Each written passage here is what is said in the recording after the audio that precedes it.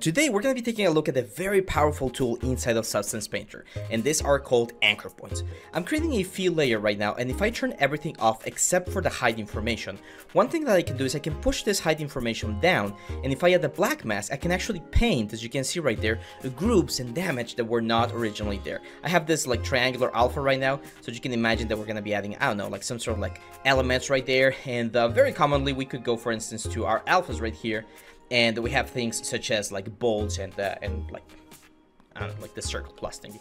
So let's add just a couple here to show you how the anchor points work. So this is good and great, and this is a great way to add detail to hard surface elements, robots, planes, tanks, whatever you do without having to model that thing in, because these details, they do not change the surface. So when you're seeing this on a render, people won't really know that those things are not actually there. All that's baked into the normal map, and we can get some amazing renders. This is how they do it in film, commercial, games, everywhere.